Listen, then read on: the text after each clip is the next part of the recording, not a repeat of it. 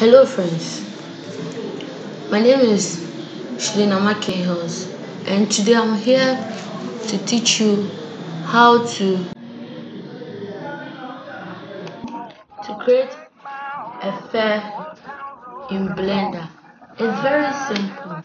So to begin with, first of all, you have to make sure you're in the layout mode. That's where all your work should be taken.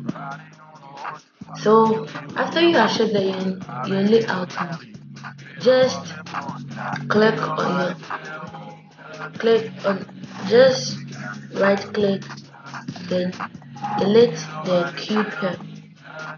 After you go to add mesh. When you go to add mesh, then you choose UV sphere. When it comes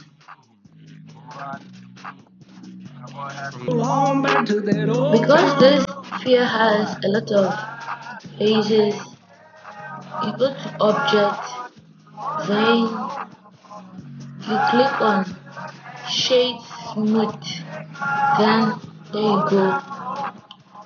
You want to work in orthographic mode, not perspective mode, so we click on 5. We will make sure we adjust the, the object to the XY axis. Then make sure you increase it for you to see it well. So after her, you click on particles, then you click on the plus sign. It's going then you click on hair. When you click on hair, then you click on advanced.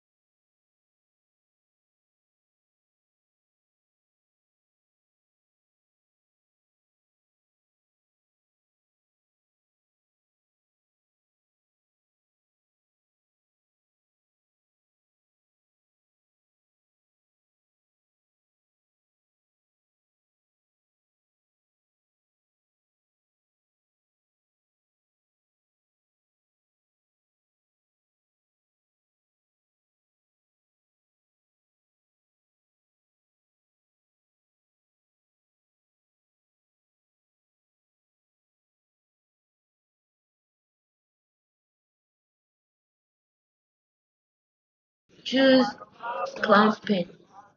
When you get to clumping, then you increase it maybe by one meters or something. Then click on the shapes. You increase them by one.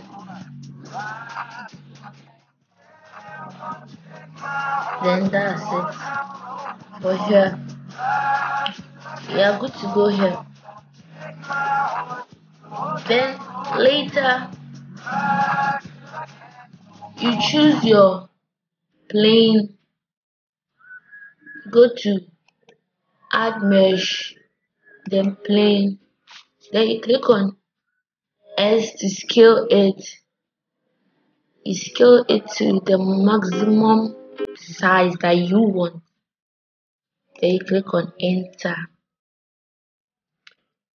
After clicking on enter you click back on the sphere. You go. Alright. With the brownian force you can increase it to any length that you want to make it fluffy